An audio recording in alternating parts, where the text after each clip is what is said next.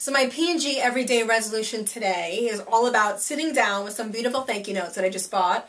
I love them. They're very pretty yellow. I thought they were very cute. And I want to write letters to my son's teachers.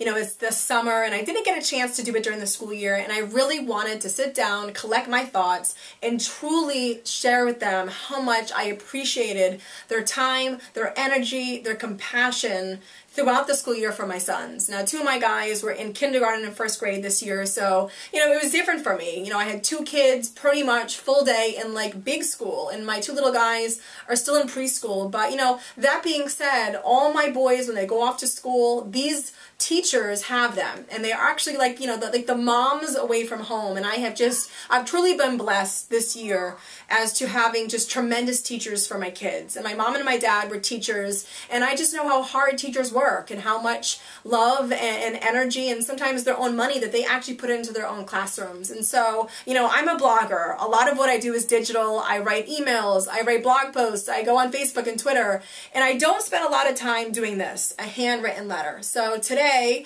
I want to make the resolution to sit down and I want to thank my son's teachers for all that they have done for them this year and just truly how much my husband and I have appreciated it and truly seen the love and the time and the energy that they put into their students. So this is what I'm doing. I'm excited about it. I'm going to forward these to the school to have them send them to the teachers, but I'm excited to sit down and do this. I really am.